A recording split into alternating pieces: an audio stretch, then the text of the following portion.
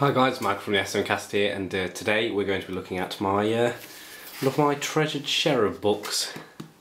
Um, Cherub is a very famous book series amongst, uh, I say teenagers, as in like early teenagers, 14 year olds, um, about a series of child special agents. Uh, British intelligence basically takes children from foster homes and turns them into uh, weapons of mass destruction and uh, spies. Um, I've read all of his books. Uh, really, really good content actually. I really do like his uh, his books. They are very enjoyable. I've stopped reading them now because I've stopped reading pretty much altogether um, for some reason. Just haven't got any time. um, but yeah, I would definitely recommend these books to anybody. And the reason I wanted to share this one with you guys today is because, uh, as most people will, should probably know by now, is that I'm getting a bit obsessed with signed stuff.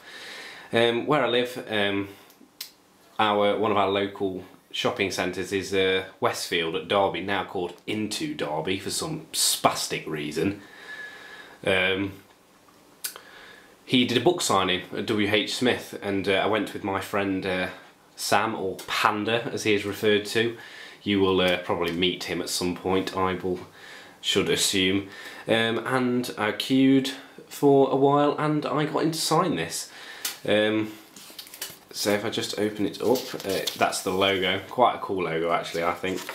Uh, giving you a bit about Robert Muchamore and what he does, and uh, he signed it for me. Uh, so I was rather pleased by that, having read all of those titles just there. These last few ones, like Black Friday, have only just come out, so I probably will end up reading them, I would have thought. So, But uh, he did sign this for me, and uh, quite lengthy books.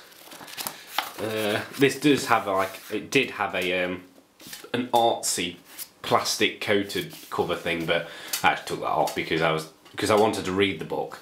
I was just getting it ruined, and my cousin, she uh, she likes these books, so she's uh, she's 14, so I lent her to read, so I took that off because I knew that it'd just get ruined. But it's just uh, just nice. It's the, actually the only signed book I've got. Um, he also had bought out a comic book of the very first book in this series, uh, and I got to sign that as well, and a signed poster. So uh, people like this, uh, you can. Uh, bleh, completely lost my train of thought there. I will do a video of those as well. So uh, thank you very much, guys. Give this video a thumbs up if you thought it was good and give it a thumbs down if you think I'm a twat.